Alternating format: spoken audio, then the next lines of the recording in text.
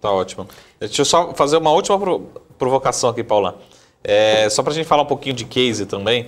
A gente falou lá da Guararapes, mas como você citou da, da Ultrapar, eu não sei se vocês têm ainda a Ultrapar na carteira ou não. Mas até falando um pouquinho aqui de ciclo e um pouquinho, eu não sei se a palavra certa é moda, mas a Ultrapar lá no passado já foi uma queridíssima né, da Bolsa. Todo mundo tinha, era a empresa perfeita. Ah, e como você falou, talvez esses últimos anos, não quer dizer que seja uma empresa ruim hoje, mas é, eu acho que as expectativas estavam tão altas e aí o mercado realmente acabou se decepcionando ao longo do tempo. Né? O que, que você acha que, que falta hoje, o que pode acontecer com a Ultrapar particularmente, para ela voltar a ser aquela, aquela queridinha da Bolsa, né? De repente limpar o balanço, como a gente já está vendo, né? Desinvestir em alguns ativos, né? Vender algumas participações, né? Focar em poucos negócios. Enfim, o que, que vocês estão vendo, o que, que vocês esperam aí da Ultrapar? Nem falando de preço-alvo, mas realmente de entrega de resultado, o mercado voltar a olhar para ela como ela já foi no passado. Pelo menos a minha, essa é a minha percepção, né? Muito bom. É, que bom que você pegou essa, porque hoje eu diria que é uma das minhas preferidas lá do portfólio. A gente uhum. não só tem como a gente aumentou. Né? É, realmente, a Ultra, é, você, é, a tua, tua, teu diagnóstico está correto. Né? A gente viu durante, eu diria ali, desde o final dos anos 2000, ali, né, 2008, 2009, passada a crise até 2015 ali, ela foi assim quase que uma, uma ela, ela foi uma vencedora aqui do nosso uhum, mercado. Sim. Ela era ela estava lá entre as 10 empresas com melhor retorno, é, mais bem precificadas, etc, etc. Né? É, acontece que é, aquilo que fazia dela essa empresa né, começou a se perder pelo caminho. Né? Então, essencialmente, aqui nós estamos falando da Ipiranga, né? a Ultra ela, ela tem boa parte do valor dela atribuído à Ipiranga, né?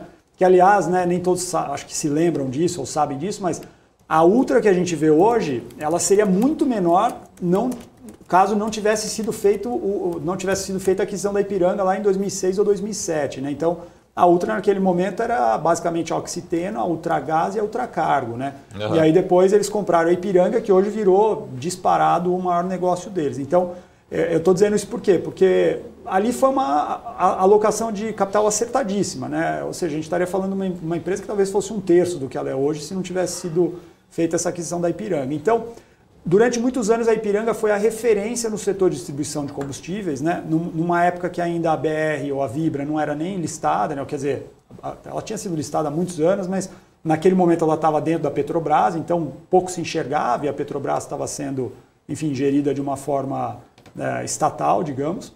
É, então ela era quase que é, ela não era uma referência e a Cosan, por outro lado, vinha começando nesse negócio, né? tinha comprado a ESSO no Brasil depois fez lá a JV com a Shell, criou a Raizen. Então, para se ter uma ideia, a Raizen, né, a Shell, ela queria chegar no nível de rentabilidade da Ipiranga. Né? Então, era, era essa a situação lá nesses anos de 2010 a 2015.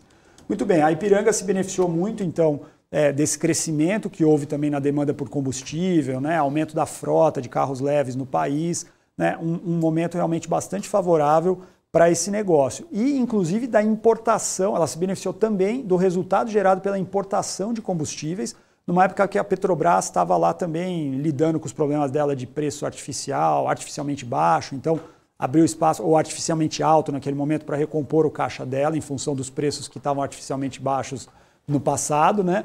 É, e aí a Ultra e outras é, distribuidoras de combustíveis se beneficiaram disso. Então houve um, um, uma geração de resultado extraordinária naquele momento. Passado esse momento, né, a Ultra começou a mostrar resultados piores. Em paralelo, cometeram vários erros de gestão lá da base deles de revendedores, enfim, e, e erros de gestão em geral. É, e estão até hoje lá tentando, uh, uh, digamos, corrigir esse, esse percurso. Eu já vou falar da correção desse percurso, como é, como é que a gente acha que, vai, é, que ele vai acontecer. Em paralelo, ela tentou comprar a Alessat, o CAD não deixou, né? Ela tentou comprar Liquigás, o CAD não deixou, ela teve que pagar multa nesses, nesses, é, é, é nessas transações que não foram adiante. Né? A empresa se alavancou, aí como ela não conseguiu comprar a Alessat, ela quis ganhar o volume que ela teria adquirido da Alessat via desconto e via, enfim, é, é, entrada em mercados menos rentáveis. Conclusão, formou-se lá um problema é, relevante dentro da companhia, né? Em paralelo, ela estava já, desde 2011, tentando transformar a Extra Farma numa rede de farmácia relevante, não estava conseguindo. Né? A ideia inicial deles era colocar as lojas, as, as farmácias nos postos, eles perceberam que isso não funcionava em 95% dos casos. Então a empresa estava realmente vivendo um inferno astral. Deixou de ser aquela uma das 10 melhores empresas do Brasil para ser uma das, talvez uma das 10 piores listadas no Brasil. Né? É, bom, dito isso, a empresa acordou finalmente, né, e aí é, é parte da nossa tese, ou talvez a principal, é, é, é, o principal pilar da nossa tese, que ela precisa mudar de rumo. E, esse, hum. e essa mudança de rumo já começou a acontecer. Né? Tem um pedaço dessa mudança que a gente acha que o mercado não colocou no preço da ação. Tá? Então, assim, basicamente, essa é uma empresa que hoje tem um valor de mercado da ordem de 15, 16 bilhões de reais. E um valor de firma, né, o EV, o Enterprise Value, de 27 bilhões de reais, ou seja, tem 12 bilhões de dívida líquida que estão sendo é, é, amortizados, ou, ou, amortizados não, que vão ser eliminados à medida que os desinvestimentos que ela fez comecem a entrar no caixa, ou que, ou que o efeito caixa desses desinvestimentos comecem a aparecer.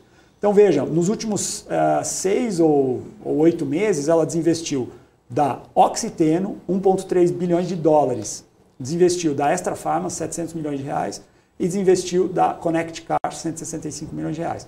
Colocando tudo isso na conta, na nossa projeção, ali pelo primeiro ou segundo trimestre do ano que vem, essa que é uma empresa que hoje tem 12 bilhões de dívida líquida, vai ter alguma coisa como 2 ou 3 bilhões de reais de dívida líquida. Então veja, e o EBITDA dela, por outro lado, né, a geração de caixa bruta dela, ela, ela, ele, vai, ele vai cair muito menos do que vai cair a alavancagem.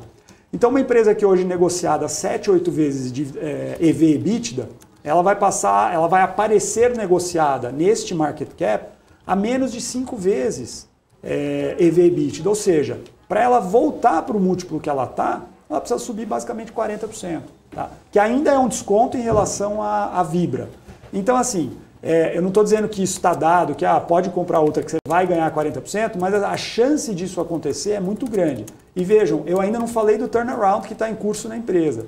Então, a, a, empresa trocou a gestão, né, colocou lá como presidente da Ipiranga, que é o principal negócio, como eu já disse, um ex-Raizen, né, que é o Linden. É, ele está lá há três meses, mais ou menos, e deve já começar a mostrar os resultados da, da, da gestão dele nos próximos trimestres. E, talvez tão importante quanto, ou mais importante até, na presidência da holding, da Ultra, eles colocaram agora para é, efetivo em 1 de janeiro ou 2 de janeiro o Marcos Lutz, que acho que a maioria deve saber, foi o, o CEO aí que promoveu toda essa grande é, é, é, transformação do Grupo Cosan nos últimos. Quer dizer, ele já não está no Cosan há uns dois anos, ou um ano e meio, mas durante ali 2007 a 2018, 2019, ele era o principal executivo do grupo. Então, é, a gente acha que uh, uh, os acionistas de referência lá da Ultra, né, particularmente a família Eagle e o Pátria, né, agora perceberam realmente a necessidade de mudança, estão executando as mudanças. Agora a gente já está, ou seja, o plantio está feito, a gente vai começar a ter a colheita dos resultados nos próximos meses. Por isso que eu insisto, Ultra é hoje uma das nossas maiores convicções, acho que é um preço excelente de compra. Uhum. Maravilha, ótima explicação vai, vai aí. Tá, vai